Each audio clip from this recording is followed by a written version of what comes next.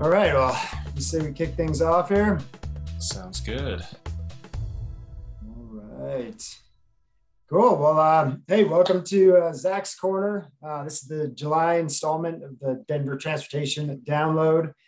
Um, got a very special edition today uh, to the monthly download series as we've uh, collaborated with guests from uh, the CSCMP Rocky Mountain Roundtable uh, to bring uh, Dr. Zac Rogers and his Logistics Managers Index to the Denver Transportation Download. Um, the DTC Download is the Denver Transportation Club's monthly event to engage and our, our current and future membership. And we're so happy for you all to, to, uh, to join us here as we continue to, to the, this momentum, uh, building on this new event for our, our community uh, and members. Uh, my name is Will Burdeck. I'm co-VP of activities for the club. And uh, for those who are not familiar with our organization, uh, Denver Transportation Club was formed in 1906 and exists to cultivate good fellowship, promote the mutual and educational interests of its members, and to stimulate interest on the part of the public in transportation matters. And with more than 150 active members, we pride ourselves on being the premier group to engage with the front range supply chain community. Uh, so thanks to all our, all our supporting members and the board that serves with me, and especially our corporate sponsors. Uh, just to name some of our corporate sponsors, uh, we have BM2 Freight, obviously here today. Uh, we've got Kodiak, Acme, Loadsmith, DIX, RMT, XPO, Allen Lund, Uber, Uber Freight, uh, Boxwheel, Universal Chain, Lobo Logistics, Assured Partners, USI, Mountain Valley Logistics, and ISEC. So one of the benefits of being a corporate member is spotlighting during the download. Uh, so this week, we have the honor of welcoming John Graham with BM2 Freight, along with Zac Rogers, Assistant Professor of Supply Chain Management at CSU. John also serves on the board of the Rocky of the CSCMP Rocky Mountain Roundtable. Uh, and John's a, a, freight veteran with 20 plus years in the transportation industry and gets up every day to provide his clients with the best possible experience with their truckload needs. Uh, so John will be spotlighting BM2 Freight and we'll also introduce uh, Zac Rogers and the Logistics Managers Index as we get kicked off here in just a minute. Uh, last kind of housekeeping items before we get started and I hand things off to John and Zac. Uh, so we are still busy planning upcoming events for the fall and winter. Uh, so we we are uh, still looking at, at setting up another golf tournament in September October timeframe uh, and a new spin on our operation stimulus uh, here this winter. So more information to come out on that soon. Um, we're also looking at uh, you know getting uh, starting to get some membership happy hours going, and so hopefully we'll be able to get together with some of you folks here in the, the near future. Um, we will be have a survey as well as the recording available after the event. And uh, for questions, you know, we've got plenty of time for Q&A today. So, uh, you know, type your questions in the chat, raise hand, or, or just, um, or just, yeah, feel, feel free to unmute and jump in. So John, I'll uh, hand it off to you to take it from here. All right, yeah, thanks, Wilbur. And welcome to Zac's Corner. Um, as Wilbur said, this is something we originated with our CSC local roundtable, uh, Rocky Mountain Roundtable.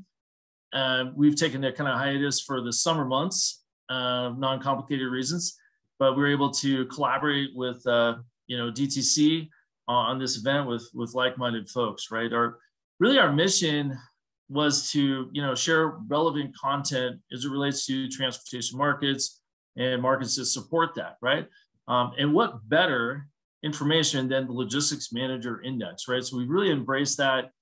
And who are we sharing this with, right? Other like-minded transportation, logistics, and supply chain professionals as we really kind of plan and hypothesize what's going to happen in the future and what's today and bring that back to our, you know, immediate jobs. So super fortunate to, um, you know, partner with Zac. It wouldn't be Zac's Corner without Zac. Um, he's the assistant uh, professor of supply chain management at Colorado State University. So when I hear that, I was like, okay, he, he may know something about this, right? A little bit, but I will, um, what was I going to say? I wanted to shout out to, to BM2 Freight. Uh, you know, their support and sponsorship for this event today just kind of echoes our core values and having a pulse on the market so we can bring those um, back to our, our customers as well as our, our, our carrier partners. Well, having said so much, you know, Wilbur, you did point out we're going to do some Q&A. So I think type them in, but we'll probably leave time at the end, however long they may be. I know we have an hour. Um, so it sounds like we should have, you know, ample time to have a good discussion uh, about the insights and uh, updates for this last month's LMI. Uh, so having said so much, uh, I'll transition over to Zac for, um, you know, Zac's corner. All right. Well, uh, well, well, thank you, John. Uh, I, I appreciate being invited to come talk to everybody. Um, uh, you know, it's it's the last week of of summer uh, here at at Colorado State, and I I was getting bored, and so it sounded great to just come and talk to people about some trucks and some warehouses, and and uh, it sounded like a lot of fun. So, um, and as as John mentioned, this is something that we've been doing with with uh, the CSCMP group, and and I talk a, a couple other places about. Um, about the uh, the LMI every every month as well. And and uh, and I have some slides. And and uh, John, are you the host? Um, I am the host, though you oh. should be able to share your screen. Let's see. It says I'm uh, uh, host is disabled participant screen sharing.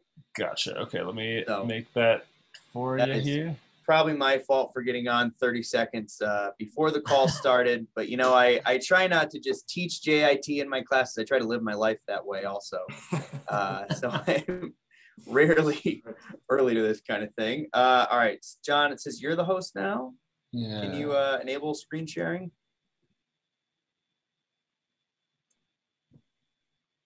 Here, I can do it here. Or whoever. So There we go. Change host.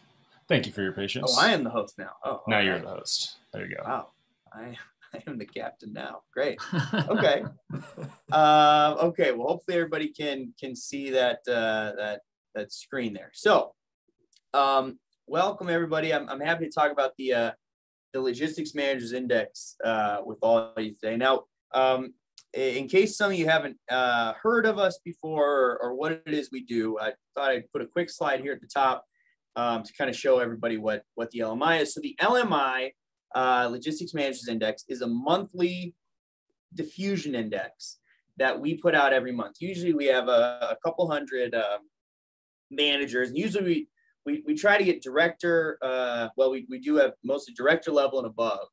Um, and, and the reason for that is because we're asking people a lot of sort of big, you know, 20,000 foot view of the firm uh, sort of metrics. Uh, when I was a lowly uh, warehouse manager uh, at Amazon, I, I knew what our inventory levels looked like. I had no idea what transportation capacity was or anything like that. So we asked director levels and above. And essentially what we do is this is the you're looking at the whole survey right here basically. It's it's very simple. We also ask about future stuff and some demographic things. This is the meat and, and potatoes of it. And we ask about eight different metrics. We ask okay, okay inventory levels inventory costs. And then for warehousing and transportation we ask about price utilization, and capacity. And that's it. And we say, compared to last month, is it going down, staying the same, or is it going up? And we put all that together to create a diffusion index. Okay. So when you average everything together, essentially any number above 50 means growth. And the further above 50 it is, the greater the level of growth. Any number below 50 means contraction. Further below 50 it is, the greater the level of contraction. Okay. So right here, we're looking at just the last two years uh, of readings. We've been doing this for about uh, about five years, um, and you can see that this month we got a 74 and a half. That is the third highest reading uh, in the history of, of the index. The second highest reading was last month, and we also tied for the third highest uh, uh, two months ago in May, three months ago in May. And, um, and so if you just put these last three months together, it's the fastest growth we've seen for any sort of quarter um, in the five years we've been doing this. And I, and I think it's it's really interesting actually to see the sort of level of, of growth. And, and if you talk to people in the industry, it makes sense. This has felt like a busy last three months, I think, for everybody. Uh, and, and this month in particular, uh, this was really driven by uh, growth in, in warehousing, uh, specifically warehousing costs, as well as inventory and, and transportation. Warehousing costs, so I think we had our, our highest mark ever. Um, and, and, I think this is helpful for a number of reasons. One, uh, it comes out monthly, so it's it's fairly current. And two, it can really help us to understand what's sort of coming down the pike. You know, it's it's uh we've we've done actually some academic papers using this sort of uh, this uh, this metric, this index, to predict sort of future economic variables. So looking at things like you know Dow Jones index, unemployment rate, retail sales. The July LMI is a really strong, like 90% predictor of the August economy. Okay. And when we started this, the idea was to do sort of a, a PMI, a purchasing managers index for the 21st century. You know, when they put together the purchasing managers index in, at Michigan State in the 60s, they made it about manufacturing. And that made a lot of sense in 1963 or whenever uh, Professor Fearon was, was coming up with it. That made sense in 1963. When we started this in 2016, you know, we thought maybe manufacturing isn't the best gauge of, of the US economy, right? We're about service and uh, logistics and delivery. And we might have a better idea of what sales are going to be if instead of looking at, okay, how many goods are we producing, looking at how many goods we're moving around, are they sitting in inventories? Are they in warehouses? Are they in trucks, et cetera, et cetera? So this is, uh, you know, based on our analysis, has been a pretty strong predictor of, of you know, sort of next month's activity. Um, by the way, if anyone wants to jump in with questions at any time, I'm fine to just answer it. You know, I'm I, I appreciate talking to you guys because normally I talk to 19 year olds who've never heard of any of this before. Uh, so so talking to you guys is always great. So any any notes, comments, questions, anything, I'm, I'm happy to stop at any point. All right, so let's kind of bump forward here. So I, I kind of have made this sort of a high level uh, presentation because I wanted to leave a lot of time to, to talk at the end. Um, this is a graph though that we used in last month's report, and it shows aggregate movement for uh, price, logistics price, and logistics capacity. So all of our capacity metrics together, all of our, our price metrics together, normalized so that they're on the same scale. And anything below this sort of dash black line indicates contraction. Anything above it indicates growth. Okay. So, uh, you know, anything above 150 or below 150. And the scale goes from zero to 300. All right. So if we look at this time two years ago, uh, aggregate price was a 186. Aggregate capacity was a 173. There's a 15 point spread between these guys. Now, so what that means basically is we were having a pretty moderate level of growth. 170, 150, or 180, 170, those are both within one standard deviation of the mean. That's just like normal levels of growth having in 2019. And if you remember at this time in 2019, things were actually kind of slow on the industrial side, right? B2C, things, you know, the, the consumer was hot, retail was hot. We had some slowdowns on the industrial side, maybe partly some trade war stuff, some hangover from sort of the peaks that we had in, in late 2017, early 2018, just sort of normal business cycles. We go forward, uh, and it's pretty easy to see, by the way, if you were just looking at this graph and someone said, hey, what was the month that the world got turned upside down?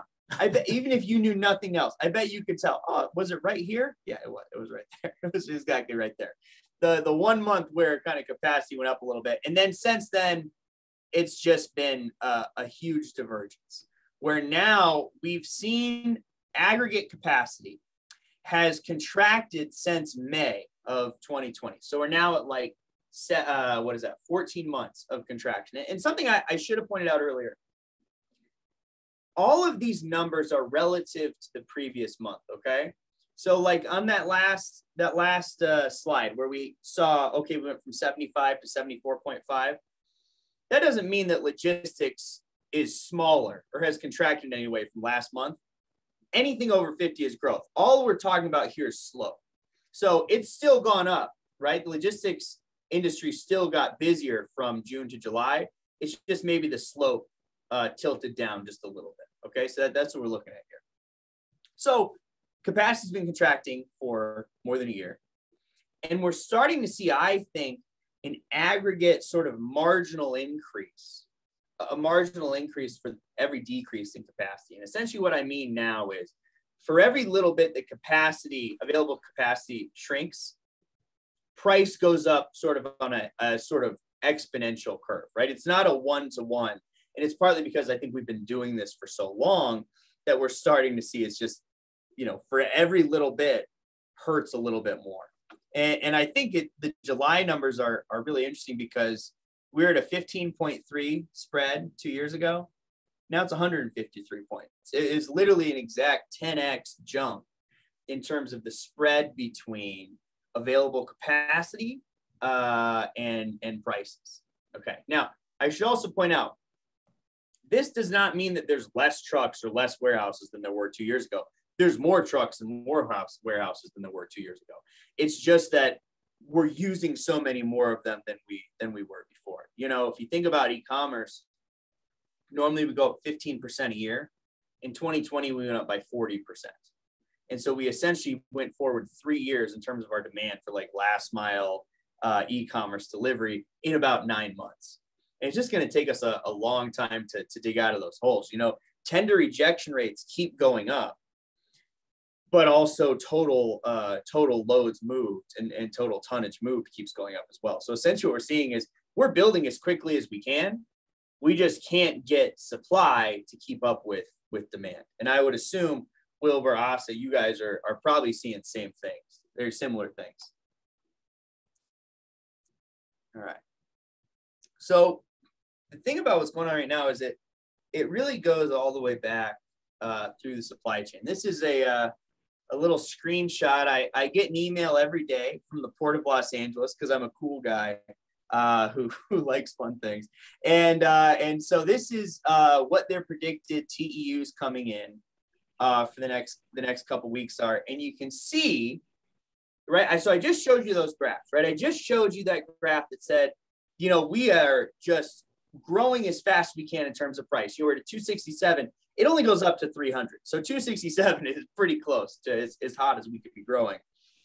And and capacity has been contracting relative to demand for over a year. That those are the numbers from July. July is not traditionally the hottest time of the year. I mean, outside maybe, but, but not for the freight market. The hottest time of the year is coming now. And you can look at TEUs moving from mid August to late August.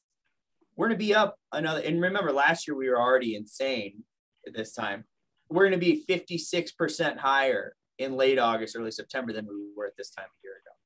Things are going to be moving really, really quickly. And that's reflected if we look at this is the Freightos uh, container index. This is uh, moving from China to the West Coast. This week it's $15,800 for a container moving from China to the West Coast. This is actually down. Last week it was 18,500. So, you know, now it's now it's just a cool 15,000, no big deal. Um, but but still, even with that that decrease, this is up over 100% from like June 1, right? In June 1, it was 8,000 bucks. In September of last year, it was 3,000.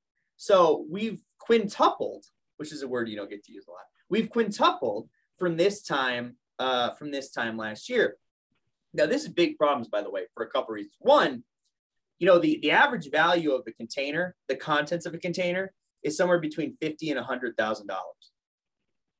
That makes sense when the container costs 3000 When the container costs 15000 or 20000 suddenly now instead of talking about, oh, you know, 3% of value or 6% of value, we're talking 30% of the value of the container of what's in the container is just the metal box itself. So there's going to be real ramifications from this, um, I think, in, in a lot of different ways that, that we haven't really seen yet. But the reason this looks like this, the reason this is so backed up is because we've had a container shortage for a while. And now we're really starting to see, I think, bad behavior from carriers uh, going to ports. You know, if you think about the way shipping works between the US and China, normally it's we come from China, go to Long Beach, unload, drive up to Oakland, reload with whatever we're shipping agricultural commodities, scrap metal, cardboard, whatever it is we're sending there and then goes back to China, right? It's kind of a card, it's kind of a triangle.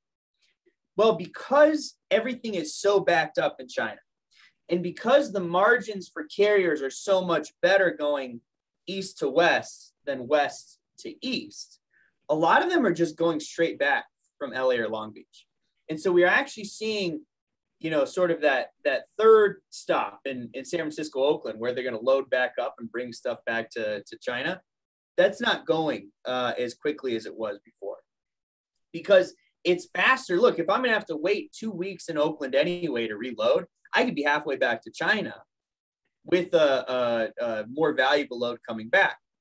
Now, one of the problems is with that is you don't want to go back to China with as many containers as you came over with if they're all empty, because that gets pretty light, right? And then you start losing containers. Plus, you don't want to wait that long anyway. You don't want to wait. I mean, if, if I'm bringing them back empty anyway, I don't need to wait to load up the whole boat. Just give me 80% and I'll go back. And so, because of the container shortage in China is creating so much, uh, such margin for these shipping companies, they're just leaving containers all over the place, making the container problem worse. Okay. And so the issues are creating bad behavior that, that makes the issues worse. It's sort of creating this negative feedback loop where the high prices of containers are making it so there's less containers, which then increase the price of containers again. And, and so we're having this sort of feedback loop. So what's happening here is we're getting this crazy, crazy congestion in the port of LA. I mean, we still, I, I think I looked today, one of the other the little stats they sent me is how many uh, ships are docked. I think it was 21 are, are docked off, off the port today, just waiting to, to get unloaded. By the way, on an average day, there's there's you know 12 ships in the port. So there's 12 plus another 21 outside right now. Um, and so what's happening is we're having all these containers then stack up that we can't even totally we, we can't even get them on the trade. I mean, you guys know BNSF and Union Pacific uh, started metering traffic this month. And so, I mean, I think BNSF had a whole month where they just didn't accept any new, uh, any new loads. They're like, hey, we got to dig out of our, our back order. And so we have all these containers piling up. The Inland Empire right now, warehouse capacity, uh, or sorry, warehouse vacancy is I think one one and a half percent right now in the Inland Empire. Because basically what we're doing is like, well, we'll just we can't put it on a train. We'll just put it on a truck and just put these full containers just in warehouses close to the port and then we'll send them somewhere else later. You also see more traffic going through Seattle and and all the way around to the East Coast and all kinds of things. And and you know, I mean, you go through Chicago right now. I think it'll take a train two or three days to get through Chicago just because of of what a traffic jam, just the insane congestion. All right. Um, and so all of this stuff, all these issues, like, oh, there's not enough truck drivers. Okay, that's that that's part of it oh, there's not enough trucks. That, that's part of it. But also, this goes all the way back. This goes all the way back to the other side of the world. And sort of the problems are so systemic, I think, right now, it's going to take a while uh, for us to turn around. Now, one, I think, little slice of this where we can see that there really is differences in different parts of supply chains. This next slide here, where we every month we look at the up versus downstream response. Okay, so upstream, which is the uh, the blue bars on this graph, orange is, is uh, or sorry, yeah, and orange is downstream. Upstream firms would be like manufacturers, distributors, wholesalers. Or uh, the downstream, the orange bars, that's like retailers. Basically, anyone who is customer facing, that is a downstream firm. Okay. And for the most part, we see similar rates of growth all over the place. There are some differences though. One of them would be inventory costs, okay? Upstream, the inventory costs are nine points higher, growing not, grow, or growing at a nine point faster rate than they are for their downstream counterparts, which is statistically uh, significant using some, some t-tests and ANOVA stuff.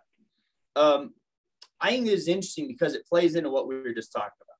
All of this inventory is stuck upstream. I've talked to so many retailers or, or end product users who are like, I just can't get components. I just can't get product. And it's not that there's no product being made, it's that the product is stuck. I mean, the system is essentially constipated, I think, for, for lack of, a better term. Uh, it's just everything is just jammed up right now. And so all these upstream firms, because we can't move things with transportation, are seeing, I mean, a 92 for for uh, for inventory costs. That's again, this scale only goes up to 100. So a 92 is basically the highest level of growth. If, if this was isolated by itself, this would be the highest metric we we'd ever tracked, or the highest reading we'd ever tracked for this metric is 92. That's what the upstream firms are feeling right now. And 82, by the way, or 83, that's also like nothing to sneeze at. That's well, well above average. I think average for this metric is like 64. Uh, but but even what the downstream folks are feeling is nothing compared to everything being stuck upstream. Now flip that on the other side and look at capacity. Well, downstream, their available uh, transportation capacity is contracting 20 points faster than it is for the upstream. Okay, so upstream 41 still significant levels of contraction, but a 21 is like crazy, insane levels of, of contraction that we've really never seen before. And essentially, what this is showing is look, the inventory is stuck up here, and we're trying to get it moving as fast as we can.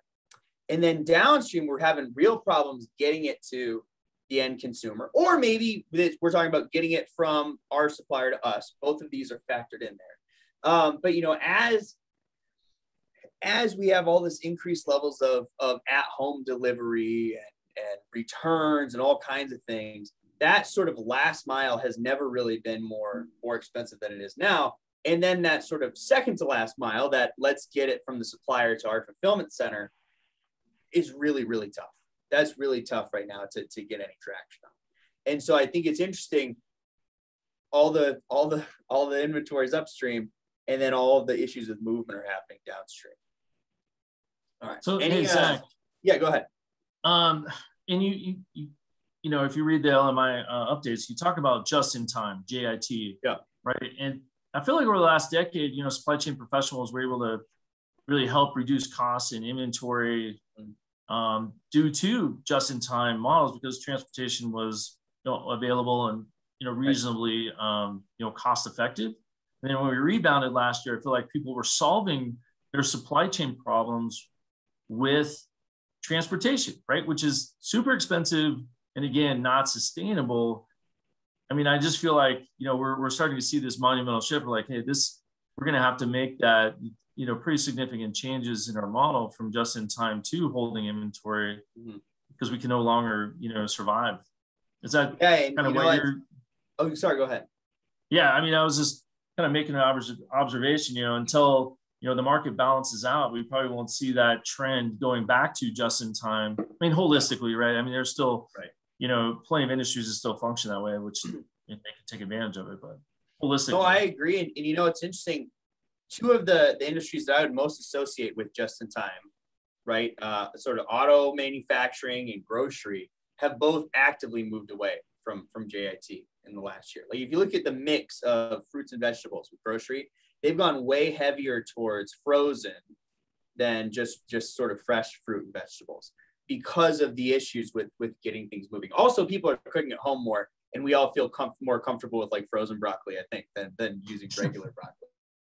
Um, but but they've moved and they have these things like uh, one of my my good friends works at Kroger and she told me, oh, we, we're stocking a bunch of pandemic pallets just in case Delta comes back. We have a ton of stuff just ready to go uh, in case people have to start, uh, you know, cooking more at home and stuff. Look at the auto industry. Toyota outsold GM in the second quarter in the US for the first time ever. Toyota's never outsold in, in the US GM for a quarter. They did this year. And it's purely because they stockpiled semiconductors at the end of last year and GM doesn't have any. GM is selling every car and every truck they can get on the lot. They just can't get very many on the lot uh, especially relative to, to Toyota. And, and, I think, John, it's it's such an interesting thing. And, and I'm actually, I'm teaching this, this exec ed class in December and I'm going to, I'm doing like just like four hours on JIT. So it's, so it's going to be a barn burner. Uh, but, uh, it, but, but it's about that debate um, where you're absolutely right. We built this system on these assumptions that we can make something 5,000 miles away and get it here for relatively cheap and at a very predictable, relatively quick uh, rate, right? Okay, buy something from China, the container, I'm gonna know exactly what's gonna be on the boat, and the container's gonna cost me 3,000 bucks. Well, now that container costs $15,000 and I might get on the boat 10 weeks after I was supposed to. And so it's interesting. Right now, the value proposition that we're seeing in international logistics is like, hey, What if I give you a quarter of the service for five times the price? Would you be interested in that? Well, now some companies are thinking, are what are we? Are, is, that, is that actually what we want to do? And so I do think we are seeing this shift where, and then of course, because because service is so bad, oh, I'm just going to order double or triple because I don't know when I'm going to get another shipment in. I do think we're seeing this sort of revaluation and and in some ways, you know, people have been talking about nearshoring and reshoring manufacturing. And you know, you're never going to reshore, say, a sock factory in Ohio, right? Like that's not coming back. Not that I think we would want a sock factory necessarily, but I do think we are going to see more sort of pan American supply chains emerge over the next 10 years, sort of as a reaction for this. Which, by the way, if I was someone in trucking or rail, that would sound great to me because now we can move things quickly, just up and down, right? It's almost like if, if I was if if if if Biden called me up and said, "Hey, uh, we need a logistics czar," um, we also maybe need help with other stuff, but let's say we just just for you, we we want logistics czar. It said, "What would we do?" I'd say, you know, a one belt, one road China style initiative that goes from Canada to say Brazil. That would be the way to go, I think. Uh, and it's because we are seeing this crazy capacity crunch, and we're gonna have to reinvest and rebuild all this stuff anyway at this point we might as well make one that's close to us. And I think we're really seeing that maybe relying, especially for like semiconductors, you know, that's we, we have record back orders of class eight trucks right now because we can't have the semiconductors, we can't build phones, we can't build computers. It does seem like people are starting to think, hey, you know, having one company in Taiwan, 5,000 miles away, make two thirds of the world's semiconductors may not be the bulletproof plan that we that we had once thought it was. And so I, I think it'll be really interesting. And I do think the other part of that is people are going to rethink JIT a little bit, especially, you know, look at how we've reimagined the rest of the supply chain. Think about how warehouses used to be. When I uh, went to work at, at, Amazon in 2010, I worked in um, one of the first warehouses ever built right outside of, of Reno, Nevada. It's halfway between Fernley and, and Reno, Nevada. And, um, and on my first day, it's out in the middle of nowhere on my first day to work, I was late. Uh, and I was nervous. This is 2010, like the recession. Like I was really freaked out. I was late because uh, I was right down the street, and then six bulls came into the road, uh, like big, like wild ones with with horns and stuff. Now these are, I know maybe I don't know if some of you guys growing up in Colorado, you have one idea of what maybe a bull or a cow looks like. The ones who live in Nevada are just eating sagebrush and and broken dreams. They're they're hungry and they're angry and they're mean. And uh, and I was 15 minutes late to work because I just had to wait for these bulls to get off the road. Now, why is that? It's because they were building warehouses out in the middle of nowhere. When you know, because this, this is one of their early ones. Everything was about cost. Everything was about how can we lower costs as much as possible. Think about an Amazon warehouse now. in like Thornton across the street from the mall, across the street from two malls. That's where they build them now. Why is that? That's way more expensive. Well, it's because they care about service levels. And so, the same way I think we've sort of seen supply chain shift locally and go from this cost reduction model to this high service model, I think we could see the same thing start to happen on a more macro level. So, is, does that answer your question, John? Yeah, and several more as always. but yeah, I'm always, I'm um, always good for a 10 minute answer for a 30 second question. um, so I could say, uh, yeah, we beat the hell out of that subject. nice. Cool. Well, let me let me show you a couple more pictures, then we can we can talk about whatever else you guys you guys want to talk about. Um, this picture here is uh, a, picture of sort of what's going on with a lot of the other non-transportation metrics um, in the uh, in in the um, the report this month. And you can see here we have inventory levels. That's the gray the gray line. Warehouse capacities green um, inventory cost is the yellow line and warehousing prices is the red line. And, and I like this one just because, again, it goes back to that idea of the marginal cost growth curve that we were talking about, where, okay, that gray line, inventory levels has been growing fairly steadily, but, but it can't get that high. like it hasn't cracked 70 really during the entire pandemic. Yet, inventory costs that yellow line are higher than they've ever been. We we had never had a reading in the 80s uh, before January of 21. So this year, and since then, every reading has been in the 80s. Our, our all-time high, we almost cracked 90 uh, uh, last month, and we're still right at 88, 85 or 88.5. Um, and so I think it's interesting because what that tells us is okay, we can't build inventories up, but it's moving through really quickly. And so this is a picture of that gray line and that yellow line together tell us that uh, I think a story of inventory velocity.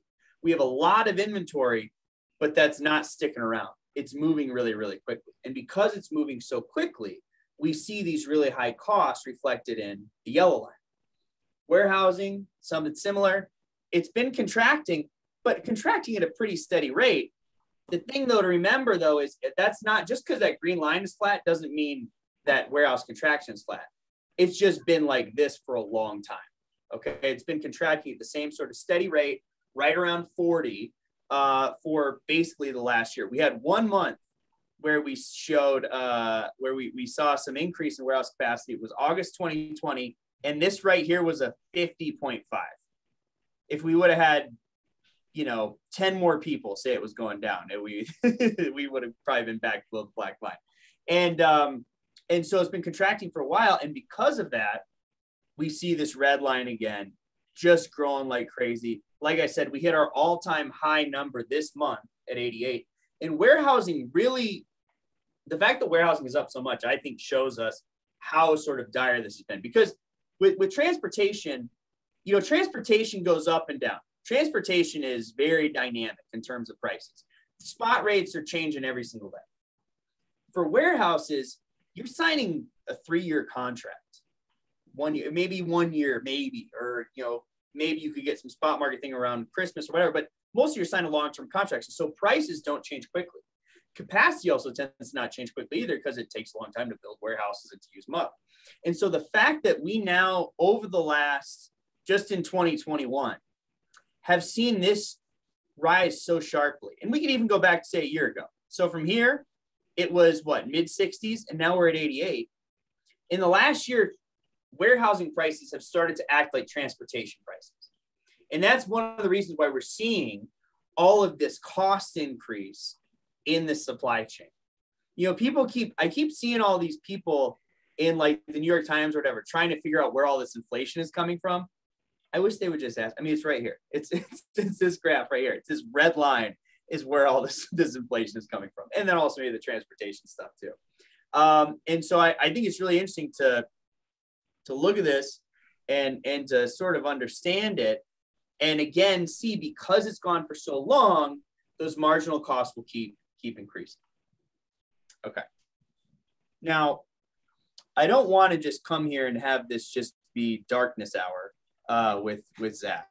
Okay. So I do want to, to show you something I, I think does give a little hope. So the other thing we asked, the last question we asked on the survey is, hey, uh, 12 months from now, where do you see all these metrics going? Okay, so this is over the next year, what's going to happen to all, all eight of the metrics? And transportation capacity became positive this month in July, the July report for the first time, I think in 2021 and in, in the first time in a while warehouse capacity is up a little bit too. And so respondents are actually saying, hey, you know what? It, it might be a little looser in a year. Now, it's that doesn't mean we're going to be out of the woods in a year. You can see those are both in the like low to mid 50s. So that's very moderate, sort of modest rates of growth. And prices are still going to be up in the the high to the high 80s for inventory warehousing, low 80s for for transportation. Okay. And so essentially what I'm what I'm hoping this means, and and it's now sort of a couple months in a row of, of something similar. I think what this maybe is indicating is that in terms of the capacity, the la- absolute lack of capacity, we've hit the bottom. Okay. We've, you know, in terms of, of raw, we might be on our way slowly back up. Now, this could be totally thrown off in September when we are ramping up for Christmas. Okay. So take that with a grain of salt. But it seems like what our respondents are telling us, our respondents have actually been very accurate in terms of their future predictions. Uh, if you throw out March and April of 2020, when they didn't expect uh, the world to end, if you throw those two months out, they've actually been very, very accurate over the five years doing this. Um, and uh, and so basically, it shows things are coming back online, and you can even see right Class 8 trucks. In I think in 2020 we made 210,000. This year we're going to make 250,000. Next year it'll be over 300,000. We're ramping up warehouse. We're, so so there is we do see anecdotally sort of all this increased uh, increased sort of physical capital is sort of starting to come back online, and maybe we can build up enough. Now, a question I get sometime is, well, are we going to overbuild? Are we worried about you know building up too much and then it's kind of a beer, you know, bullwhip effect? And and I would say us worrying about overbuilding right now is like the guy who goes to the gym for the first time is like, I don't want to get too big. I don't want to be too. I, I like. Don't worry about it. that we can cross that bridge when we get there. Uh, the other thing I would point out is, you know, e-commerce has been a, a big driver of like at least the transportation crunch. Right now, it's 13% of retail is e-commerce, 13.5% of retail. By 2025, it'll be 26% of retail. So in the next four years, that's going to double anyway. So I don't actually think we should be too worried about overbuilding on on the warehousing side right now. And trucks, you know, trucks really the constraint might end up or is semiconductors and drivers more than anything else. Um, and so as long as we can sort of stay within those limits, I, I think we'll be okay. Um, so that is uh, that is kind of my my my presentation here. Uh, so uh, the last thing I, will say before we, we, we pop it up for questions, this is our website, uh, thelmi.com. Uh, you see all of our old reports are up there. It's free, by the way. Okay, we write this report for free. This is what you call a terrible business model, where I just spend a couple days writing this report every month, and I just, you know, I'm, I, we just want people to know what's going on. Um, uh, and if you are interested, by the way, and get on the mailing list, or maybe you think, hey, I should be one of the people that's telling you what's going on in supply chain, and you want to be part of our, our respondent group, send me an email at, at zach.rogers at, at colostate.edu, and I'll be happy to jump on a, a Zoom with you, talk to you, and, and we can get you set up uh, uh, to be to be one of our respondents if if that's something you're interested into, and and put whoever you want from your companies on our, our mailing list. I, I promise we're nice. We only send it out once. Uh, and then maybe we'll send a reminder to take it at the end of the month, but we're not gonna to you know spam you to death. Um, all right, so that that's it for me, uh, and we left uh, 14 minutes. So any questions or comments or anything you guys want to talk about, I'm I'm happy to do it. Awesome, thanks, Zac. Um, looks like we have one uh, question in here. It says, uh, you know, when, in your opinion, do you see the market going in the other direction? When do you think rates will contract or stabilize? Right. So a lot of that is a is a function of of capacity, and like we saw, especially for transportation, capacity is is way way sort of down right now. And so I think it'll be a while. And, and again, part of it, part of the bottleneck is um, is uh, you know the the semiconductor issue. Okay. And so until we can really get the semiconductors where we can get the class eight trucks online, we're not going to build up the type of capacity we need. And semiconductors, that's probably something like 2023 is I think when we're looking at, at really getting some of those back online. You know, I, I put another uh, sort of chart here in backup slides that I think talks about this a little bit. Um, we're, we're good. Some of our, our good friends at, uh, at the LMI are, are uh, FreightWaves who I'm sure you guys are all all familiar with. I, I go on the Freightonomics show usually once a month, and uh, and they're they're good friends of ours. This I I pulled uh, from their sonar platform, and you can see the outbound tender rejection index uh, in the U.S. and and right now, right, this blue line is is us right now. This is sort of you know June to December where we're going, and and you can really see if we look at the orange line. This is uh, I think 20 19. No, this is 2018. Or sorry, green is 2018, orange is 2019 here. And uh, and you can see it was like, you know, around this time, it was around 5% uh, in, in 2018. And even in 2019 wasn't bad. But it but then you look what happened now. Okay, well, this is when it really started going crazy. And we were at 25% almost the whole second half of last year. Now, just so we all remember what that means, that means for every four potential loads that can go on a truck, three are getting rejected. Okay. Or sorry, sorry, three are getting accepted, one one is getting rejected. That the other way would be insane. Three, three are getting accepted, one's getting rejected. And right now we're at what 21%. And we had been at 25 for a lot of the year. And I would guess that we're going to climb back up again. And so we were already sort of, I think, even if you just look at the orange line, I think you can see we're trending to a place where we were starting to catch up.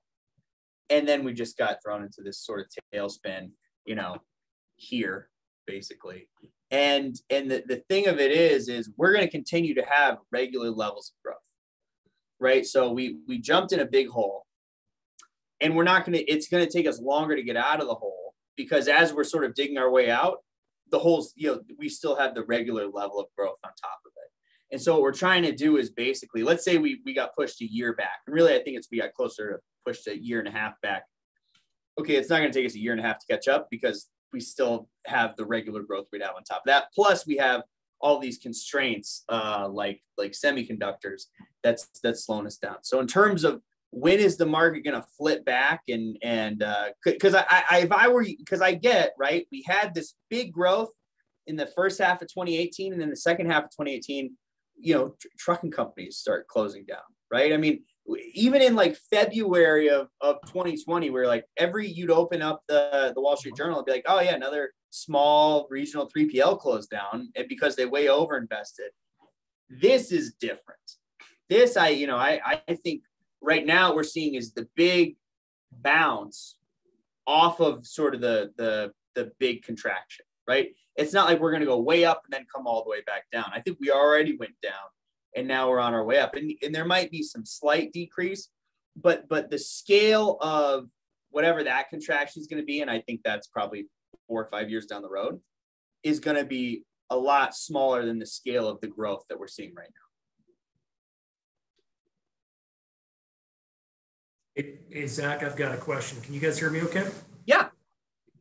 Hey, so, you know, first of all, really, really good insight, I think, for probably many of us uh, one way or another being in the logistics industry. You know it's kind of like we we know all of these pieces but from my standpoint you know i'm not focused on all the different components of it. So looking at this just helps put things into perspective. But you know i think to, you know to your point right you know you're talking about you know kind of the challenges around the ports. Um, you know you mentioned you know the uh, i think you're, you're reference it as being constipated, you're spot on, right? So you end up in a situation where you're having to get all these containers out of the ports, you know. So I think to your point, you've got transportation, drayage companies pulling all these containers, um, putting them in warehouses. Um, but I guess what jumps out at me with that and um, is a lot of this goes back to to labor, right? And you're and you're spot on, right? So it's like we don't have enough containers, we don't have um, enough warehouses built, uh, not enough trucks built, all those types of things. But you know, one of the biggest challenges is is the labor component. Oh, right, and absolutely. You know, we we do business with uh, you know the top two grocery retailers in, in the United States, and the labor piece is real. You know, when you start looking at whether it's containers, drops, all those types of things sitting in the yard that stockpile continues to increase. And at mm-hmm. times feels like there's no you know there's no end in sight. So for me i mean everything goes in balance. And i think to you know to, to pete's question like hey when's the market going to bounce back? Um, yeah. there's there's several large factors and labor's got to be right in the forefront of it. No you know i i, I totally agree with you uh, joe and and uh, i think it's it's interesting um, I saw a report this morning. Um, uh, the unemployment rate right now for warehouse workers is much higher than it is for uh, other other parts of the of the country.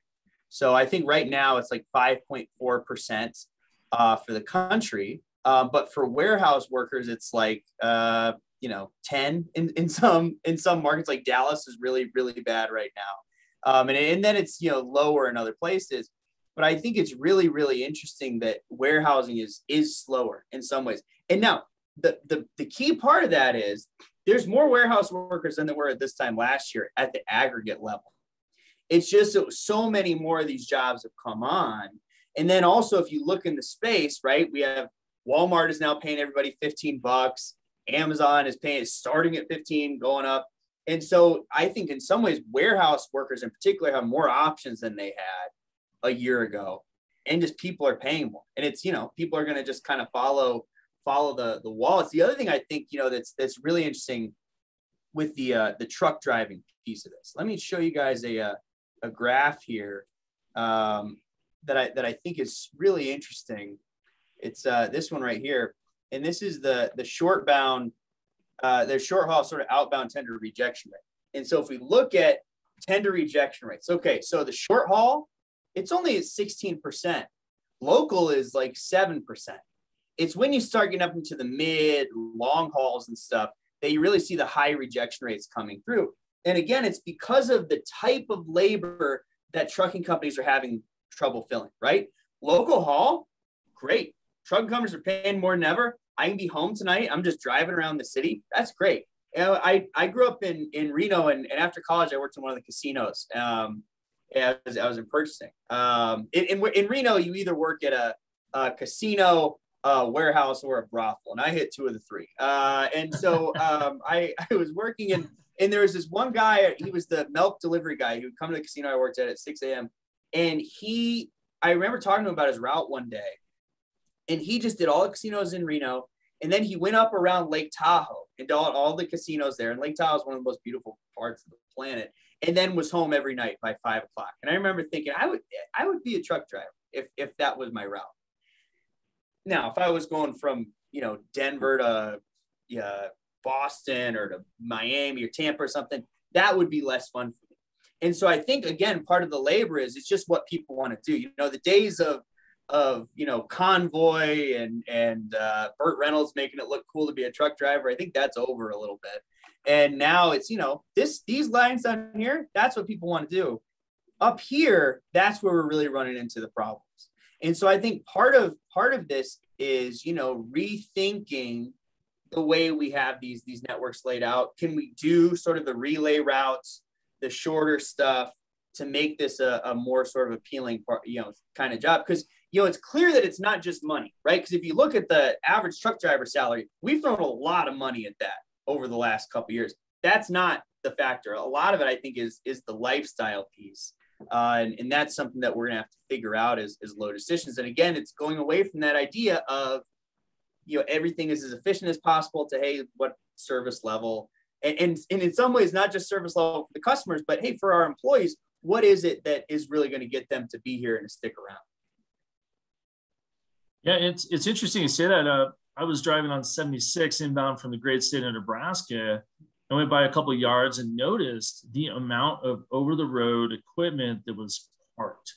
And that really just, you know, you have to ask yourself, you know, yeah, there's semiconductors, there's a backorder on new equipment, but how much capacity is just parked right now? You can't get seats in there. And I think you're also seeing that kind of poaching you're seeing at the warehouse where you know you're getting a onboarding bonus you're getting a um, you know more more money per mile from the next guy across the street. Um, and i think it's just you know supply and demand with transportation is probably not going to change right?